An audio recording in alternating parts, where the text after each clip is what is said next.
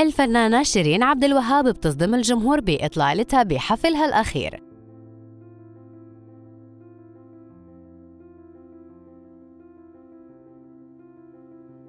شيرين عبد الوهاب حديث الجمهور من فترة انفصالها عن حسام حبيب خاصة بعد ما صدمت الجمهور بإحدى الحفلات بعد الانفصال وظهرت بشعر قصير.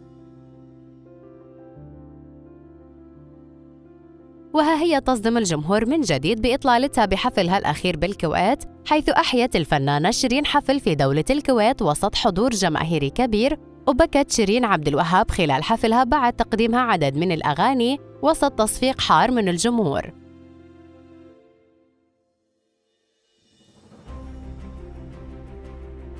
وكانت إطلالة شيرين غير متوقعة فأطلت شيرين خلال مهرجان فبراير الكويت بإطلالة ب look غريب كاجوال بالكامل عبارة عن بنطلون جلد واسع وسويت شيرت باللون الأسود وحذاء رياضي أبيض. لكن اختارت شيرين الإطلالة على غرار صيحة ال oversize وظهرت في هذا ال look بوزن زائد عن وزنها الطبيعي. style الإطلالة كان غير مناسب مع style إطلالات السهرات اللي اعتادت الظهور فيها خلال الحفلات فكانت شيرين بتتابع أبرز وأحدث صيحات الموضة.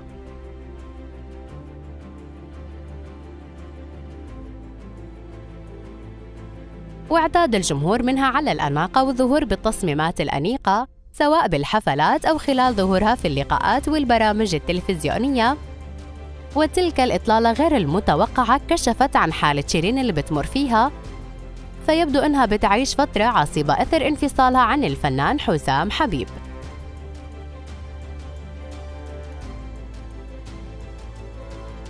وخلال الحفل وجهت شيرين رسالة للجمهور أعربت فيها عن اشتياقها لإلهم وحكت وحشتوني حبايب قلبي الدنيا من غيركم وحشة وإنتوا أغلى الناس.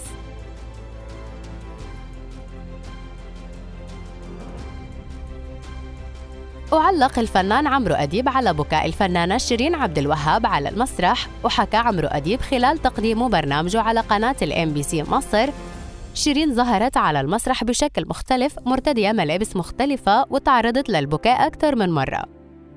وأضاف عمرو أديب أنه لو هناك عشر مطربات في العالم مهمين شيرين عبد الوهاب واحدة منهم.